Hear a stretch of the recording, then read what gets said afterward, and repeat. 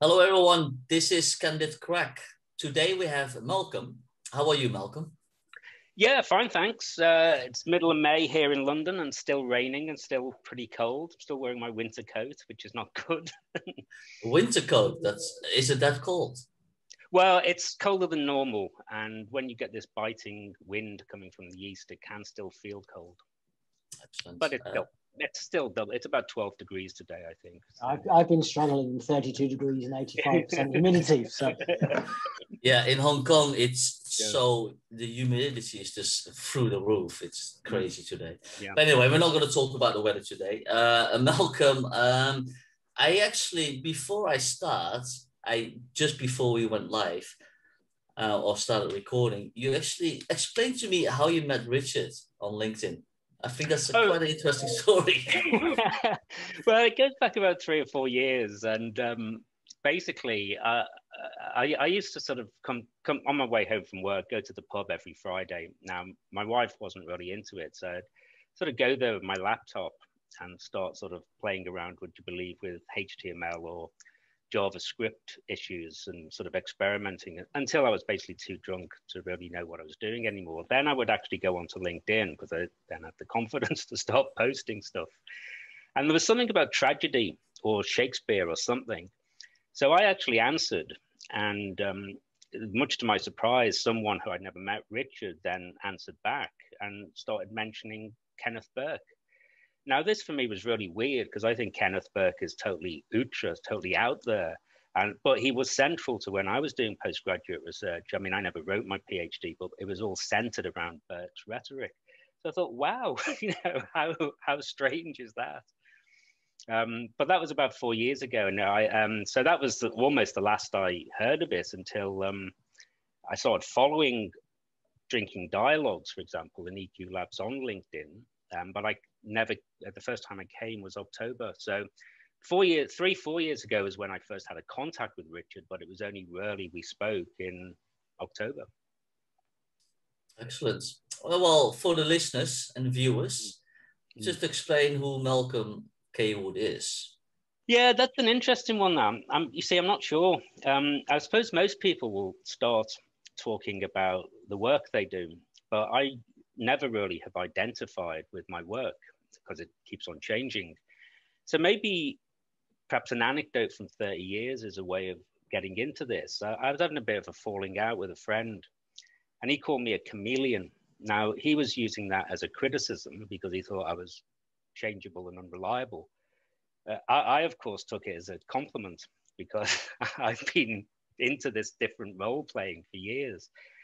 And I suppose, in a sense, it goes further. Um, have you ever come across the David Bowie track where there's a lyric that says um, he's chameleon, comedian, uh, Corinthian, and caricature?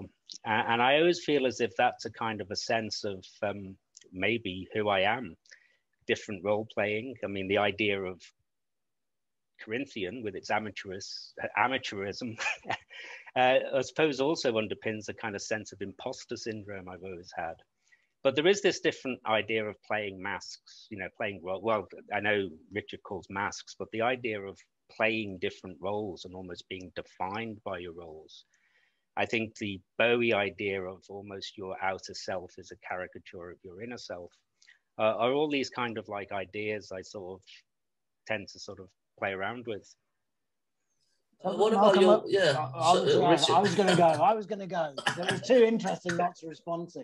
So, so which of these masks and roles do you enjoy constructing? So, if you reflect back on your life, there's probably going to be some stories, masked roles that you mm. sort of felt that you artfully constructed. Can you can you talk through a few of those? I suppose um, you see, I can't play a musical instrument, um, which uh, is always really a, a great regret. But I remember once when I was only about 21, you know, trying to write these kind of angst-ridden post-adolescent poems uh, where I used a line saying I, I tried to play my life like a saxophone. Um, and then I suppose a, a, a, few years later on, I was having a talk with um, a, a, client, and I was one I'd got friendly with, so we are probably in the pub. Uh, and he was saying, you know, you're not like a normal consultant, are you? He says, you know, what is it you do? And I said, well, I do jazz consulting. And, and I, we had a bit of laugh about that. But I suppose the thing is, the more serious aspect is being able to sort of improvise or wing it. So being this, I this kind of living on my wits. Now that implies confidence, but as I said, when you've got imposter syndrome, it can also be quite terrifying. Um, so I suppose in a sense that's one kind of role. But I suppose another type as well, and now I'm going to shift my metaphors to cricket.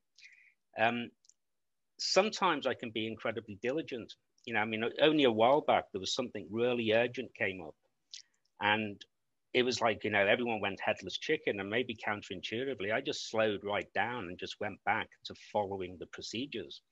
So if you think of cricket, you know, I mean, I like to think of myself as like Rich, Viv Richards, who can score a century in 44 balls like he did against England once. Or I can be a Chris Tavare who sits there for seven hours and scores 60.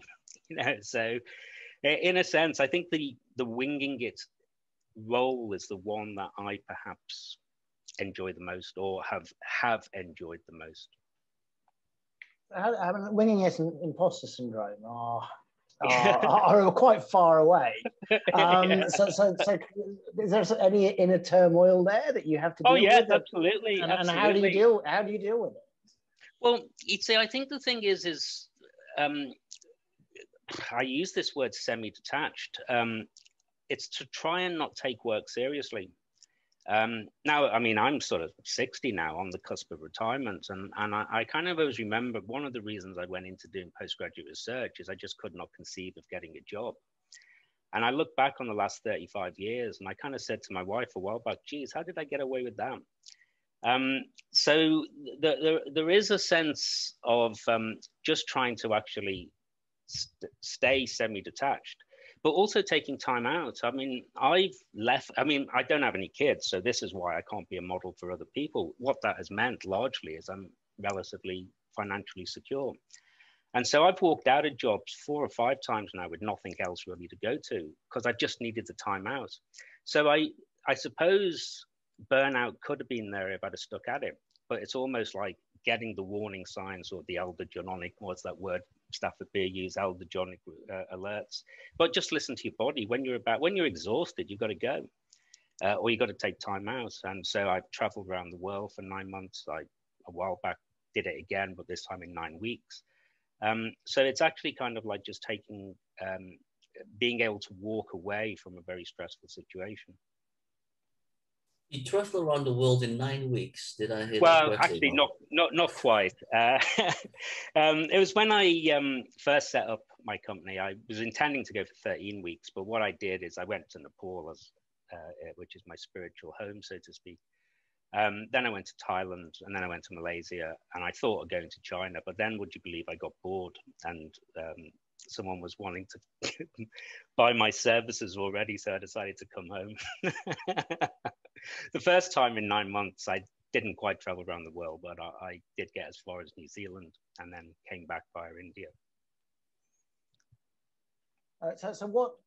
So I mean, it, it, it's it's quite difficult to pin down what you do. Can you say a few things of, of what you have done? Because you're talking about this adaptability of roles. So, so, so what what bits and pieces of work have you done that sort of can help us have, a, a, an idea of, of, of who you are in, in that more holistic, multi-celled sense? okay, well, as I say, I, I started trying to do postgraduate research. I did it for three and a half years, even did a bit of teaching. So you could say that was the wannabe academic. Um, but I realized that was not going to, I was never going to write that. So I sort of drifted, would you believe it? It was just accidental. I, I got into local government. Uh, I literally went to the job center one day and just said, You got any jobs? And they basically said, Yeah, because the GLC was closing down, you could just go and do some admin work even without an interview. Uh, they, they then said, uh, you know, apply for the, the job full time. And then I went on a management training course. So I spent eight years, almost eight years in education administration, specifically finance. So I was all about schools, budgets, and this kind of stuff. Um, that's when I actually got the chance to take voluntary redundancy. Um, I mean, I hated that job. I absolutely hated it. I mean, it, it, just almost felt toxic. Not because anyone was nasty. It was just because I felt like, say, a saltwater fish in a freshwater pond. It just began to poison me. So when I actually got the uh, voluntary redundancy, I then decided I wanted to go around the world. I mean, for me at the time, Australia was like a promised land. Um, but I also was desperate to make sure I didn't come back and get into the same kind of work. So I decided to do a, a master's. Well, I was actually thinking originally of actually doing accountancy, but I, I saw this degree in human computer in human computer interaction and technical communication. So I did the MSc when I came back, and then I became a technical author. Now they were I did another eight years as a technical author, which was probably the happiest working time of my life.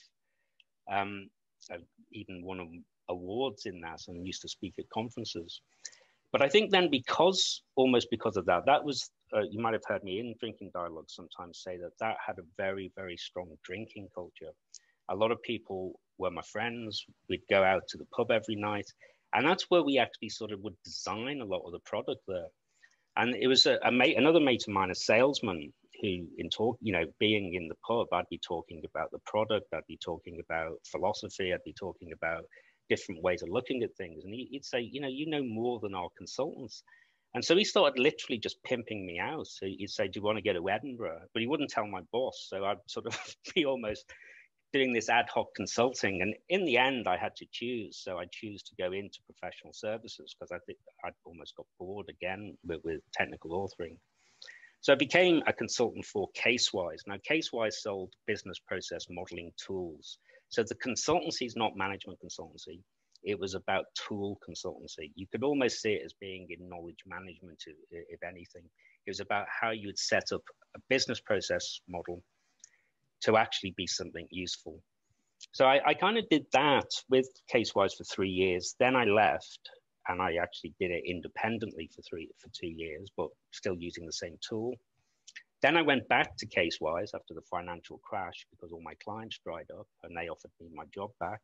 And then after four years, I left again and did it for two years before BG Group, which was a client I really loved. They got bought by Shell, so contractors were stood down. And that's where a contact invited me to go to a large investment bank. And even though I'm not working for them anymore, I still get paranoid. We're never allowed to mention their name, but you can look on LinkedIn and find out.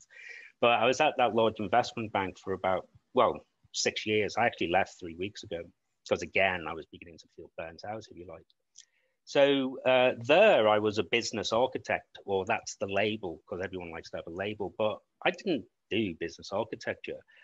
I actually felt that I was just a semi-detached contractor providing services. And what were those services? Well, it was modeling. And even within that modeling, uh, with the tool called Enterprise Architect, I was doing something even more niche, if you like, which was meta model design. And think of meta model design as the design of the information space. It's an information architecture. And out of that information architecture, that drives the reports, the outputs, the website that comes out of it, so that then makes the model not just a set of process maps no one reads, but it gets them into a set of information that is actionable in the real world. So I see it as kind of knowledge management services. So in that respect, I'm not really a business architect. I think of myself as coming in the field of information sciences, but no one understands what that is. And it's not the same as information theory either. But information sciences is probably my set of capabilities, if you like.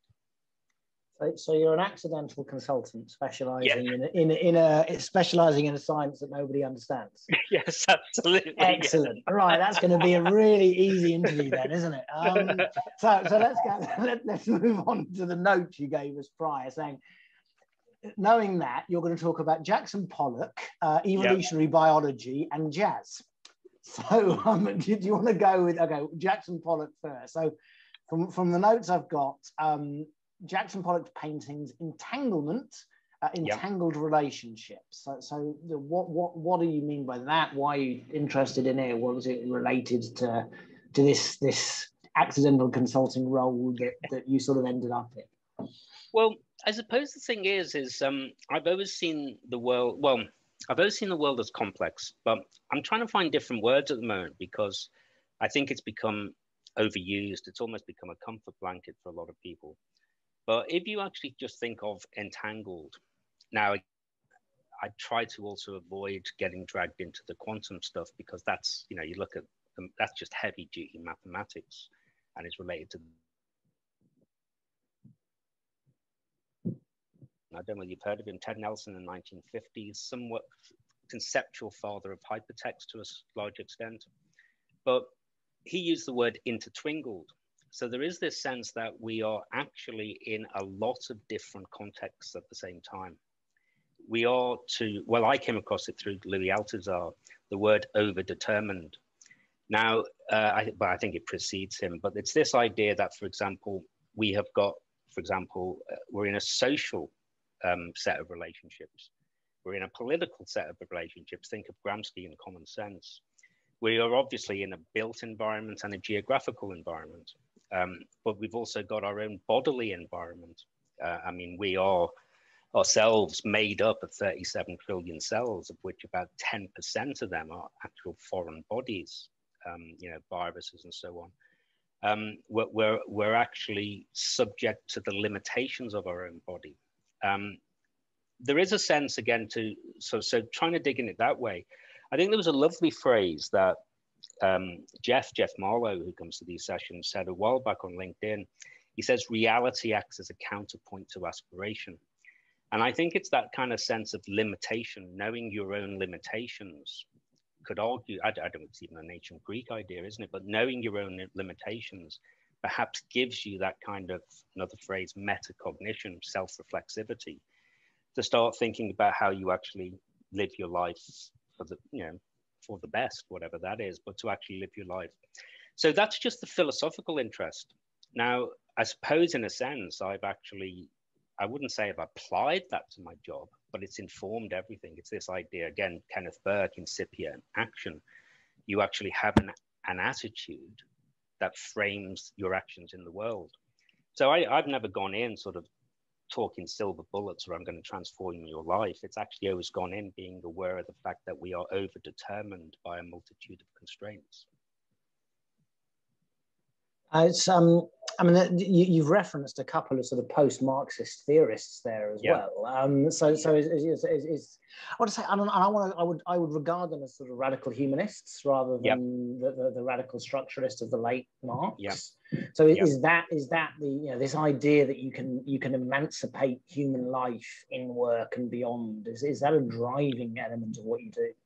Well, I suppose in a sense, uh, I've become perhaps a bit jaded because the other aspect to that PhD I never wrote was quite literally, it started off as Marxist literary theory.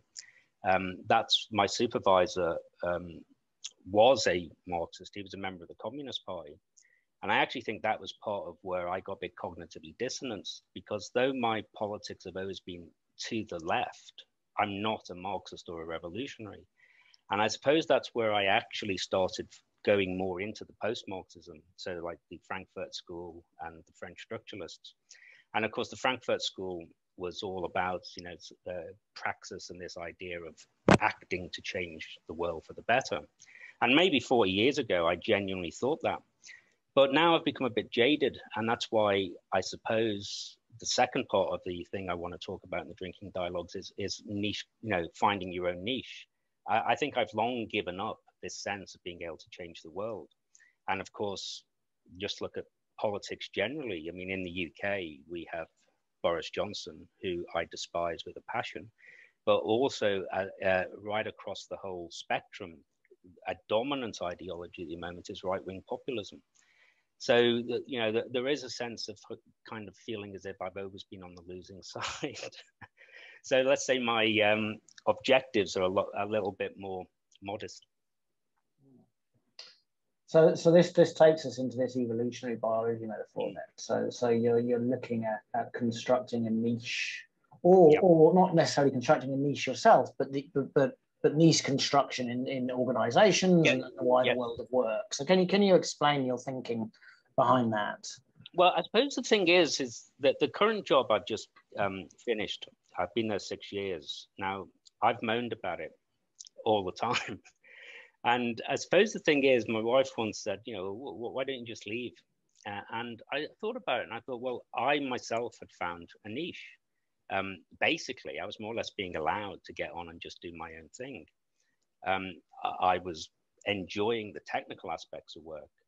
So there was no real need to leave. I mean, another dimension to this uh, is to, you know, perhaps challenge certain cliches. I was in a comf- comfort zone. And I believe once you found a comfort zone, you should stay there. And all this stuff about getting out of this, I think, is just propaganda. I'd actually found my comfort zone. So that's what I wanted to actually stay in. So it's again, you could say it's very selfish. In fact, it's interesting. Some uh, recent drinking dialogues, some American guy, ex-military, you know, said quite openly, "I was utterly selfish." um, but I don't really care about that. But the point is, right, is that I had found a niche for me, my comfort zone. But an interesting thing, which I think you're getting at, Richard, is the whole idea of where the companies find their niche. And I don't know whether you've come across Patrick Hoverstadt uh, over here in the UK. He's a director of systems and complexity in organizations. And he's big on the viable systems model and all that kind of stuff. But he's written a book called Patterns of Strategy, which is about how companies find their niche in the wider business ecology. Um, and it's founded on ideas, um, I think it's a Humberto Maturana with structural coupling, so, in a sense, in the same way, perhaps as a virus can structurally couple with its host, so can a company structurally couple with its environment in a wider economic uh, ecosystem. Um, and I think, uh, again, it's this idea perhaps always not trying to overreach, not trying to do more than what your core. It's, I don't really like the word purpose for some reason. I don't know why, but what your core purpose is. So my core purpose has always been to minimize hassle and stress. So that's where my kind of niche is coming from. The, uh, the, the, the thing that you mentioned a few times, uh, Malcolm, was uh, trying to find your niche. What, what, what drives you to in finding that niche uh, instead of being more like, so you could be generalist as well, right? But um, for some some reason you chose to find I think what it specific is, area. I, I think what it is, right, is it's whether one wants to call it comfort or even some kind of I'd say ecstasy. That's I only say that because only last night I was watching a documentary about Dionysus. Dionysius. I know Richard's into Dionysius, but it's like uh, th- this documentary is about the social aspects of Dionysus in in Greek history. So the actual idea of transforming yourself through wine and dance and so on, you know, it does seem to be a very strong human urge. Now, one thing that I found is I can get totally into the zone. I mean, I can't rarely function in the mornings. I mean, it's interesting. You asked earlier about am I a morning or uh, night person? I get up early, but I cannot concentrate until I've had my lunch. And but I'll I'll take lunch at eleven thirty or twelve, and sometimes I can work from one till six without a break and not even be aware of what's going on. It's totally absorbing and transformational. Um, and you know my backdrop Nepal, the same thing happens with high altitude um, trekking. So two completely almost different situations have a common theme of feeling is it comfortable or transformed. I almost see the two as being just two sides of the same thing. Um, so the niche idea is just being able to do what pleases me. But you can look at it another way because it is this idea that when I'm in my niche in work, it's usually because a manager has emphasized my strengths rather than the nonsense of trying to work on my weaknesses. So it, it, you know, in a sense, when you're fresh out of college, yes, you might want to be an all-rounder. You're still finding your way, what you're good at, what you're bad at. So you do want to actually do lots of different things. But you know, when you sort of get into your 40s or 50s, you know where you're going, and I think it's all about maximizing your strengths and I can really get into the zone. I mean, it, you know, sometimes I can remember, you know, doing. I, I, used to hate doing training courses, but I can always. I've got this like you know vivid memories of doing a training course in Edinburgh, where it'd gone really really well, and I'm on the plane back to London. It's only an hour's flight, and I'm so high as a kite that I'd sort of like drink three glasses of wine in that one hour flight. It, it's it's that kind of um, really just being able to feel for want of a better word, fulfilled. I'm, I'm gonna, I want to push this metaphor a bit further, Malcolm, because you're talking yeah. you're talking about niches. So you're you're, you're, you're the hassle-free niche that you've mm. sort of found and created yourself. Mm. But you seem to have had four or five very different ones. Yes, yes, so, indeed. So, so is there so so to push the evolutionary biology metaphor further? I mean, is is there also this drive to adapt? Yes, yes, absolutely. That's fundamental. That is actually fundamental, because the really interesting thing is, if you do a quick Google search about finding your niche, you find all these, you know, twee motivational posters type stuff. But the reason I wanted to use evolutionary biology is it's fundamentally this idea of adaptation. that the classic one is a beaver. So the beavers will build. So it's niche construction. This is the thing I'm talking finding my niche, but in evolutionary biology is actually called niche construction. So it's where animals will use affordances in the environment, so just levers they can find, to engineer something that is beneficial to them. That then has a feedback loop, selection pressure, to reinforce their fit to that um, niche. But of course, one of the things in these articles I was reading says is that the ultimate in niche construction is to migrate somewhere completely different. It, it gives you perhaps another perspective on so-called invasive species. Invasive species is an economic issue or a social economic issue. In biology, it doesn't care. The, the, the organism will go and find the niche best suited to it. So, you know, the ultimate niche construction is to change your niche, is to change your environment altogether. But you're right, Richard, it's fundamentally about adaptation. It's fundamentally about finding what's in the environment you can use to your benefit. And when it's no longer available, it's actually perhaps as humans we can change it or evolving and just find, yeah, I mean, another way I, I think about this sometimes is I think my working career has been very opportunistic. Now, I think this is interesting because the word, at least in the UK, to call someone an opportunist is to actually be criticizing them or morally, you know, sort of, you know, saying you're somehow lacking in morality. But I'd say nearly everything I've done has been opportunistic. Uh, I've never had some grand idea. An opportunity suddenly arose, and I thought, yeah, yeah, time to go, time to take that. So now, now sort of almost a, a tinkerer, because I've done some work and, and, some research on the notion of tinkering and, and the value of tinkering in, in, organizations. Yeah. So would that would that resonate? And again, you know, could you could you illustrate it? No, no, you're absolutely right. I mean, the, the last few years at this bank, uh, I mean, it was actually really great. Um, I uh, don't really know how it rose because uh, again, it's full of contradictions. My immediate boss, I think, is very much, if you think of the Cynefin framework with whether I've said it right, he's very much rooted in the bottom right. It's all about order. But I think with a great leap of faith with him about four years ago, I was Google like, given every Friday off to just go and do my own experimentation. Now, it was geared towards solving a particular problem that was not just technical, it was also political, because basically the product owners said this particular software couldn't do stuff, and I was pretty damn sure it could. Uh, so I was given this kind of like about three or four months every Friday to go and do all this. So I really built up a lot of capability. Um, but then that sort of evolved into doing a lot of proof of concept work. And this is exactly the case. I, I was saying it only to my wife last night. Um, when I actually have solved a problem or proved a concept in my own mind, I am totally bored with it. I want to move on to something else. I want to hand it over for somebody else to take forward. And if that taking forward means killing it, I'm, I'm not the slightest bothered. It's this idea of letting go. So, um, the, tinkering, you're absolutely right on. I mean, uh, uh, I think, you know, somebody once said, I'm not a finisher. Um, and I'm not. I'm not someone who can actually just do this kind of routine work. I don't actually feel possessive about the work. And again, as a consultant, you know, some of my assignments, because it was tool based, might only be a day. Some lasted four years. But the the sense of you know somebody once said to me, doesn't it bother you um, that you'd never get to see what they've done with the product? And it sort of didn't. So I am sort of tinkering uh, a lot of the time. I, am not sure tinkering's the right word, but I I accept the profile, you know, the, the kind of like the stereotype. It is the fact that I like to just sort of almost prove the point and move on.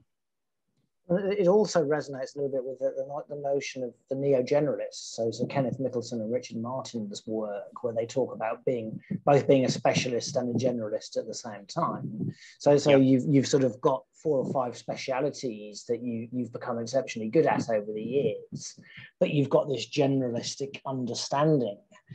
And, and so so Kenneth and, and Richard talk about this being the future. Okay? That, that neo-generalism is, is the future of leadership. So my but at the same time, you're looking at so many organisations only wanting vertical specialisms and not yes, actually. Absolutely.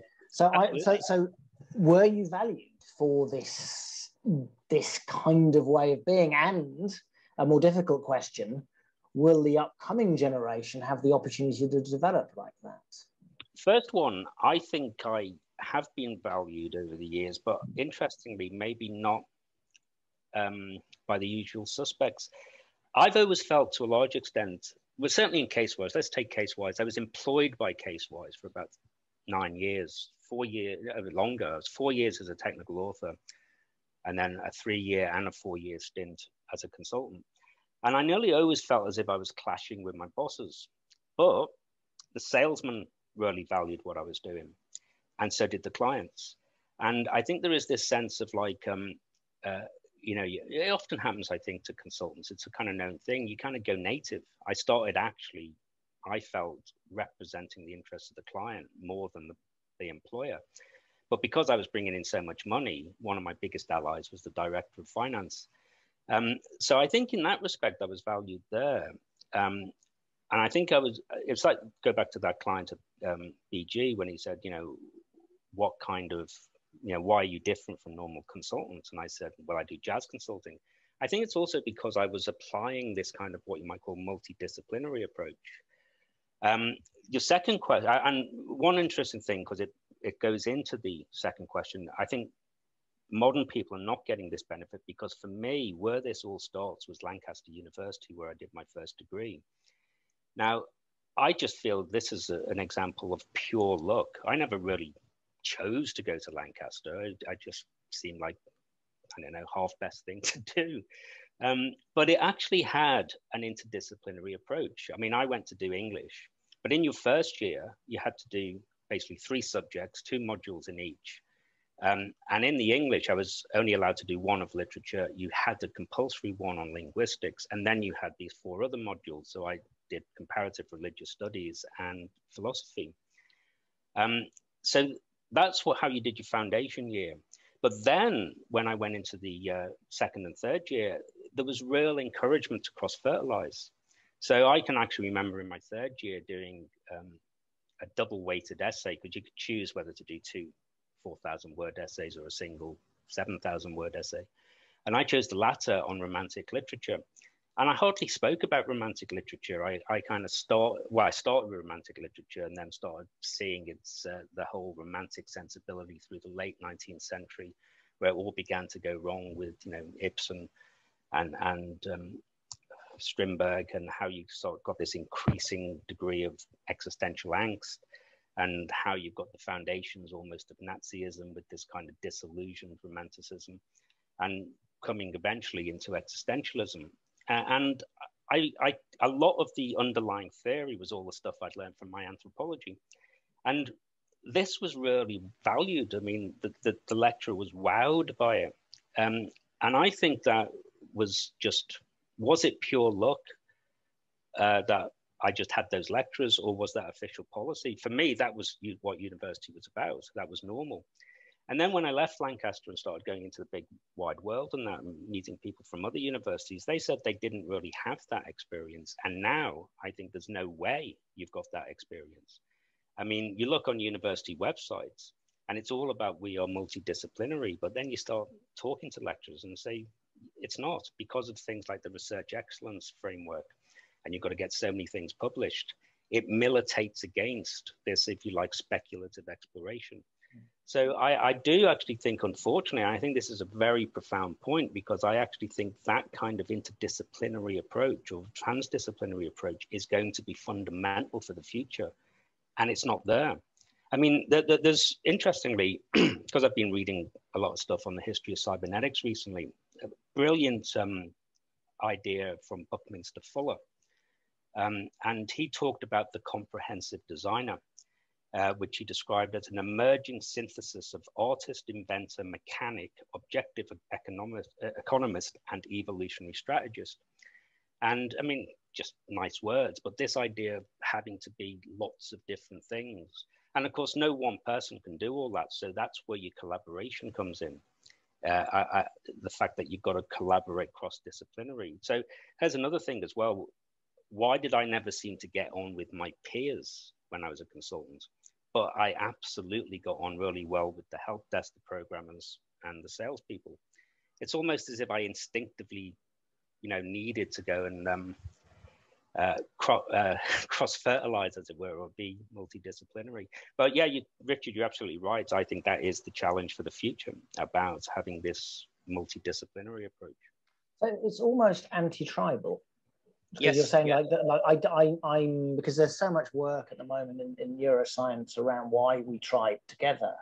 Yeah. But you're sort of saying like I, whatever role I had, I, I, I, I, I tried to to not tribe with them. Yes, yeah, uh, it's probably now. This is again. Uh, I mean, it's interesting. This is it just me? I mean, this is interesting because I've always felt like a bit of an outsider, um, and I think there's there's two points to this. Again, it's like a feedback loop, isn't it? I've read a brilliant book about 40 years ago saying the problem with outsiders is they actually want to be inside.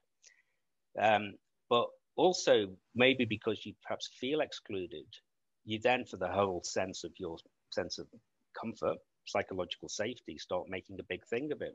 So you actually play to the role of being an outsider. So that might be something that has kind of evolved over the years as well. And of course, you know, there's certain cultural things. I was born in Liverpool, and just the actual uh, history of Liverpool, the social history of Liverpool is it's a very, very what you might call separatist kind of city. I mean, the joke is is that Liverpool is the capital of Ireland and it's the capital of Wales because it's a it's very much uh, full of you know on this Celtic fringe because of its relationship with the sea. I mean, my father was a seaman. A lot of my relatives were related to the sea.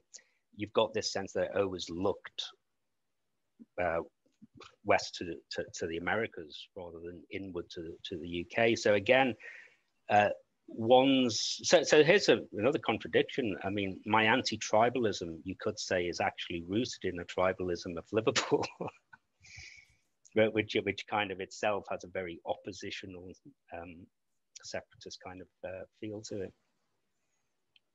is this something that you really uh, played with as well malcolm sort of being the insider or outsider because your works actually throughout your career you've been kind of consultant, right? Or especially the last few years. Um, is this something that you consciously sort of developed? It, it's difficult to say. Um, it, it's, it's this idea of the feedback loop, and it's this metaphor from evolutionary uh, uh, biological evolution. You sort of um, you find that the situation supports it, and so you capitalize on it, and that you get like a reinforcing loop. So this is why I often say that most of my life, you know, has been luck. I mean, I, have read something recently. It says that you know, a lot of people's achievements is probably more rooted in luck than talent. um, so it's almost just as if I've been opportunistic or played upon the situation as presented to me. I often try to think of counterfactuals. I mean, you know, when I why did I go to Lancaster and not Keele? Um, I remember when I came to London to do my PhD, I actually didn't even want to. And I think psychologically, I didn't want to because I actually put in the application not for a PhD. I didn't think I was good enough. I wanted to do, go and do an MA at Southampton. Um, but I'd forgotten to sign the form, would you believe? So what was going on subconsciously? But my lecturers at Lancaster, because in those days you had to go through your first university, she rang me up and said, You're being a fool. I can get you the grant. Um, so I'm not going to fill in this form. I'm not going to send it you back. Uh, I want you to fill it in again for the PhD. So I got completely sort of, um, you know, flattered by this. So I ended up going to Goldsmiths. But what would have happened if I'd gone to uh, Southampton. So there's so many of these little kind of like sliding doors events where who knows how my life would have been different. But the way it's actually just panned out has always been this kind of food, feedback loop with the situation. I think, I mean, I can understand why you sort of you've become attracted to the kind of stuff we do because I say you're filling the role of, I mean, Janice Klein calls it the outsider insider. Um, right. There's there's another thing, the principled infidel, right, uh, or the tempered radical. And, mm. and the language I use, of course, is, is yeah. the, the organizational ironist, the person that's yeah. both of and not of the organization yeah. and works hard in, in the gaps that nobody else sees. So that it all seems to define what what you're talking about. And this this will sort of take us into your last theme, I think, and, and it's the the jazz theme. Mm. So this is where you know the, the idea of being exceptionally good at, at, at, at an instrument mm. and and and an exceptionally good as working with a, a, a, group of other people exceptionally good at instruments. Mm. So you can all do the bass, the, the play the tune, do the, the do the basics, mm. etc. But then you can all go off on these incredible tangents and do things yeah. that nobody was expecting. So is that sort of the love of jazz, and then is that is that a metaphor of, of what you've always tried to do?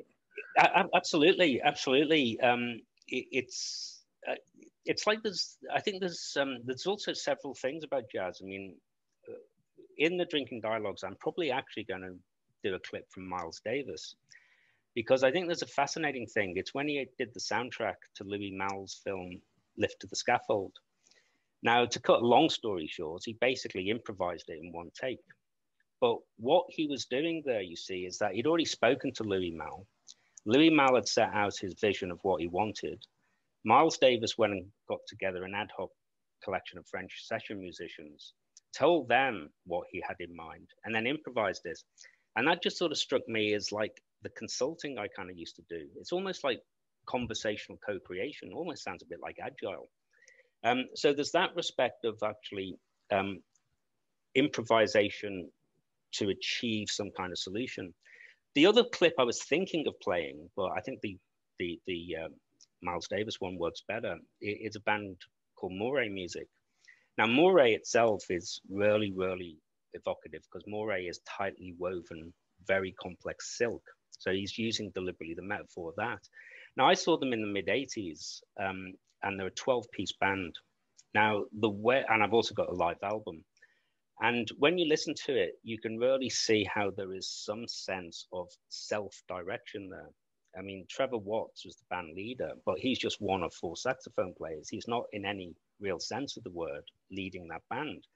They are actually doing what you might call mid course corrections as they go along and keep on, though they'll sometimes go off piste a bit, they always comes back to a certain, they'll discover a melody, they'll discover a purpose. And, and I think that sense there, if you think of, uh, I once used the phrase, the society of the self. So I almost think of myself as a jazz band with all these competing drives in there, just constantly correcting. And as it begins to fall apart, you bring it back together again. Uh, and then I suppose another third aspect of jazz is certainly in literature, it is always associated with resistance and personal autonomy. Um, so again, I think they're the kind of themes you've got you've got there with, with, with jazz. I think also you've got other aspects to this is um, not necessarily jazz, but just music. Well, first of all, I think improvisation doesn't just mean it isn't just with jazz as well. I mean, I, I came across some. I don't know whether you've ever been to Bali and seen the Balinese dance with the Gamelan Orchestra. They're using improvisation. Uh, or in Indian classical music, you've got something called raga or raga, which again uses a kind of improvisation. Um, so I think this kind of like urge to improvise is, is kind of fundamental to all of us. But perhaps what I've tried to do is foreground it, cultivate it. Um, I went a bit, I, I, think I lost my way a bit there. I think you asked a slightly different question. So there you go, there's jazz for you, going off on a complete tangent.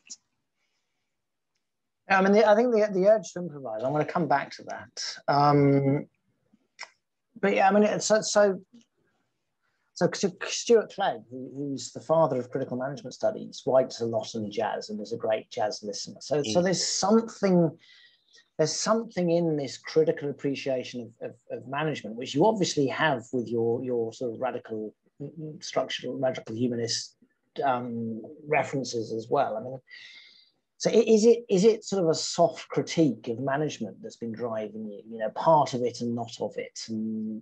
Yeah, I, I think it probably is. Um, I think there is just this sense um, of of critique. Uh, I think there is this idea of always needing, if you like, again, a musical metaphor, you need a counterpoint. You need to be able to actually, um, uh, I suppose, provide different perspectives. I mean, one thing I think I'm good at, and maybe it comes from my philosophy training, is um, I think I'm very good at seeing problems and seeing things that I know just won't work. But I don't think I'm actually so good at building a solution. So you can see where this is going. One of, for me, the most stupid things I've ever come across in my life is this phrase you get now don't bring me problems, bring me solutions. Well, if I had the solution, I wouldn't even be talking to you. But what it is, what I'm trying to do is basically say, look, here is an alert. I just think that I just know this isn't going to work. Or have you seen this problem? Have you seen that problem? Have you seen this problem? That's not meant to undermine management. That's actually meant to try and be as a critique. And, and I think there's a really interesting thing about this. Um, I know one of the salesmen really picked up on this about 10 years ago or 15 years ago. I, I was, I think, um, going through a certain phase when I was with Casewise where I constantly was kind of moaning, if you like, or criticizing people. And, and a, a salesman kind of like said, it's only actually Malcolm because you actually give a damn. Um, most people don't. They just get their head down or they're looking for another job. Whereas the fact that you're moaning about it is because you actually want to improve things. So it's almost like, you know, when people talk about continuous improvement, I don't think you can have improvement without critique and also without a certain bit of destruction as well. I, I, it's interesting. I just listened to a Bruce Daisley podcast uh, a, few days ago, and he was saying exactly the same thing about his first job he, the, the, the big boss used to walk around and looking for people who would critique, and then he was the mm. one that would always put his head up above the parapet. And, and mm. other people, this this is interesting. This is what I want to ask you. And he said he would put his head up above the parapet and would ask spiky questions, mm. and everyone else in the organization would distance themselves from him yeah. when the boss, because they didn't want to be caught and be yeah. seen part of the ripples that were coming off him. I mean, yeah. is, is that another thing that you resonate with you? Is that you yeah, when you were the spiky one, everyone else yeah. was like, "Oh, it's Malcolm doing Malcolm's thing." Yes, there, there, there, was an element of that. I mean, I remember once we all about twenty of us in the company all went to um, Dublin or somewhere. I think it was Dublin to to have some away day, and I was actually the most junior person there, and you know, I, I, I, think weirdly, maybe because I was the most junior one there, I was probably the most outspokenly critical. And the really weird thing is, almost like I think it surprised so many people because so many people were terrified of the CEO. But that CEO, I think, really took a liking to me because, you know, he um, maybe it's because I was the only one to stand up to him. Um, maybe I, I, don't know. It was just really quite an interesting situation. And then I suppose as a consultant, this is another interesting point.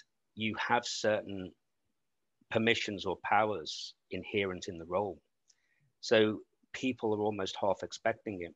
So I would be able to say to clients things that maybe no one else could say that because actually at the end of the day I might be gone tomorrow, certainly gone within a few weeks. So there was a kind of a permission there as well. the um, the one thing that strikes me, uh, Malcolm, that you the way you, you, you, tell your stories, right? You seem like a very fearless person um, that that really embraces uncertainty, which is also maybe part of, of that jazz as well, right? Because uh, it's you just jump into the deep because you don't know what's going to happen. You improvise. Um, but uh, yeah, you also mentioned that there is a lot of um, paradoxes where you kind of also try to not not to find the easy way out, but um, you, you you like to find the comfortable spot, right? Mm-hmm. To to go with the flow. And it's it to me that's very intriguing how you kind of have navigated your sort of career through that. Um, uh, as you said, some people say you're an opportunist, opportunist. Mm. Um, but yeah, it's it's it's quite extreme how you've kind of is it extreme? It, it's yeah. It's... Well, no, I, th- I think it's interesting, and I, th- I think there's also don't forget there's probably a little bit of performance here. Go back to the beginning about chameleon. I mean, I'm not really, you know, the, the, this is one performance today, to so to speak. I mean, it, it could have gone a different way. You ask me the questions next week, I might be slightly nuanced differently. But the I think this idea, the contradiction perhaps between the fearlessness and the comfort. I mean, a, a, quote from T.S. Eliot I love saying is the awful daring of a moment's surrender, which an age of prudence can never retract. Now, it's like a great leap of faith. Is it Kierkegaard or Heidegger does the great leap of faith? Now, that's often what I felt that I did, certainly in 1993 when I left my local government job. I did this great leap of faith. There was a recession on in the UK at the time. I was 32 years of age. Um, everyone thought I was crazy. But because the job itself had begun to feel poisonous, I was well within my comfort zone in taking that leap of faith, just like I was well within my comfort zone when I did a bungee jump and a parachute jump. There are all leaps of faith, but I was still within my comfort zone. So I actually think what you're looking at here is possibly just the idea of agency and control. In each of those, you see, in local government, I was losing control of the situation. By leaving, I regained it. And, and I think that's where perhaps the apparent contradiction lies is that I have the agency. Um, the idea about the performativeness, when I said, you see, I love making that quote because it makes me out to be uh, very brave and courageous. But am I really? I'm not sure. Yeah, what about you, Richard? Have you got a bunch yet? I mean, I, no, I mean, I, the idea, the idea of performing, performing on stage or performing mm. because you're a part of an interview. I mean, anyone who's ever been to a job interview, mm. I mean, that that's not you. That's a performance of you. Yeah uh, because you're trying to get a job and it's a very unusual mm. stage to be on. And, and, and being interviewed on a, a podcast stroke webinar is also a very unusual yeah. stage to be on. So, so there's always a performative aspect. The, the, the, the thing I find interesting is always is, is how much of uh, how reflective enough are you and aware enough are you to sort of all of what your existence has this performative aspects to it. Mm and, and you, you're always doing it and, and you can do it differently badly well but, but, but it's the awareness that's important. Mm. and it might it, it can't be ever present that's impossible but it, it can arise at times. Well i think there's an interesting thing on this. Uh, i know you're interested in neuroscience richard but have you come across um, the whole thing with metacognition? Now, and I, I was I get new scientists every week, and in actually in this week's new scientists, they've sort of picked up on it and a guy called Peter Fleming, I think it is. He's a neuroscientist. Yeah, my Peter Fleming? Oh, no, different Peter Fleming. One of Peter, Peter Fleming marched my PhD, my, my PhD, but uh, he wasn't a neuroscientist. It, yeah, I'm, I'm not sure if I got the first name right, but I think the second name is Fleming. Um, and he's, a, I think he's a neuroscientist at UCL, but he's talking about metacognitive functions now not just being, uh, uh, you know, about being critical, but uh, about being self-critical, but is actually all functions in the brain. So when you perhaps have things like dementia, it's where those functions begin to get eroded or degraded. But I think it's about if there are stuff that you can learn. Uh, you like any kind of brain functions, you can sort of big them up. But it is this idea about how he says it's um, it doesn't have to be at some great genius level. He says even when you're revising for an exam, you know, just when you say I haven't done enough revision in this subject, that is a metacognitive function because you're thinking about the thinking, you're making a judgment about your effectiveness, you're making a judgment about your belief and how much you know. And I think that this kind of like metacognitive thing is, I felt I got it for free at Lancaster all those years ago. Um, but I do feel as if a lot of education is, uh, as we were talking about earlier, is almost downgrading that. I mean, you may or may not have heard, may not care, but in the UK, apparently, you know, history is going to be slashed in universities, or funding for history is going to be slashed. And I think it's through history that you can get a lot of self-reflexivity in like looking at the causes of various stuff. Um, so uh, again, I, I think being able to have that metacognitive functioning also just gives you more flexibility, more ability to pivot. Now, whether that is performative or whatever, I just think it gives you that sense of more variability, if you like. I mean, again, in systems thinking, you've got Ashby's idea of requisite variety. if you've got more variety, more capability, then you've got more chance of, I think, reacting to a situation. And that's, I think, one of the key points, for example, about like jazz artists. They're not just making it up, they've got a whole repertoire of licks and motives and themes which they just recombine.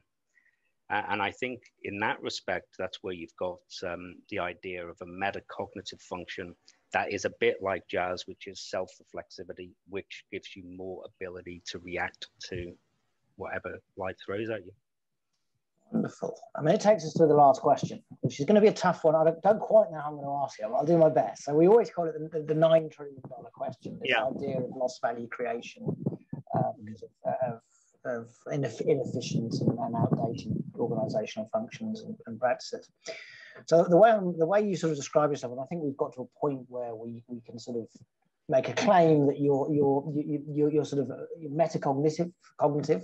You have metacognition you you're a soft critic you, mm-hmm. you have an, a, an, urge to improvise uh, and, and and an adaptive sort of tinkerer that, that, that floats mm. around so so and, and my question is if that kind of person gets more opportunities in contemporary organizations what kind of value do you think could be realized i think it gives the organization possibly what you might say more resilience because I think a lot of organizations, possibly the larger they get, almost, I'm, I'm using channeling Snowden's ideas recently on robustness and resilience.